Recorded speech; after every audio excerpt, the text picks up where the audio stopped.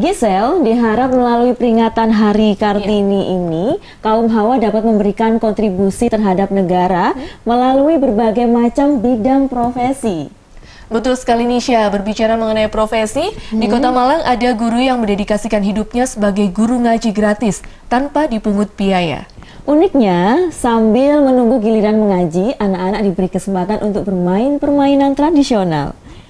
Ya pemirsa, kali ini saya berada di Jalan Mawar Gang 1 nomor 112F Kota Malang di mana saya belajar mengaji dengan Ibu Saropa di mana backgroundnya ini sangat menginspirasi sekali di mana adik-adik yang ada di belakang saya ini belajar mengaji di sini dan tidak dipungut biaya apa pun pemirsa.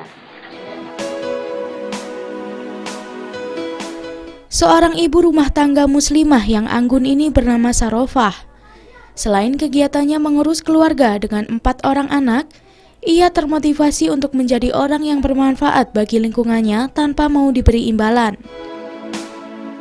Lebih dari 20 tahun berprofesi sebagai guru mengaji membuatnya senang. Bertemu dengan anak-anak usia dini dan remaja datang ke rumah hanya untuk belajar mengaji.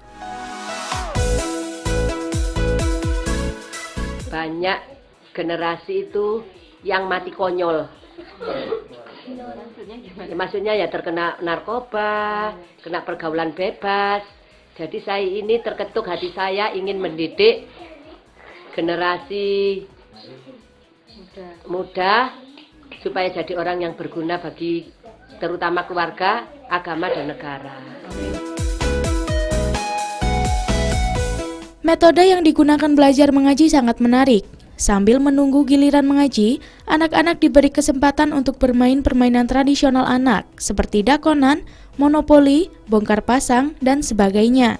Hal ini bertujuan agar anak-anak yang mengaji tidak jenuh dan bersemangat untuk mengikuti latihan mengaji. Dari Kota Malang, Nisha Naila, Dedi Santoso, Dama TV.